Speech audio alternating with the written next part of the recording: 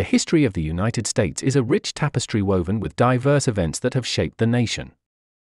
In 1776, the Declaration of Independence marked the birth of the United States, articulating principles of freedom and self governance. The American Revolution followed, leading to the defeat of British rule and the establishment of the U.S. Constitution in 1787. The 19th century saw westward expansion, the Louisiana Purchase, and the Civil War, a conflict over issues of slavery and states' rights. The Emancipation Proclamation in 1863 was a pivotal step toward the abolition of slavery.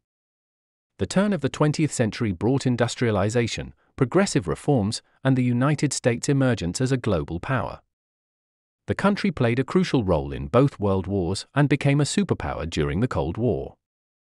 The civil rights movement of the 1950s and 1960s aimed at ending racial segregation and discrimination, leading to landmark legislation like the Civil Rights Act of 1964. Contemporary history has witnessed technological advancements, economic shifts, and the United States' role in global affairs.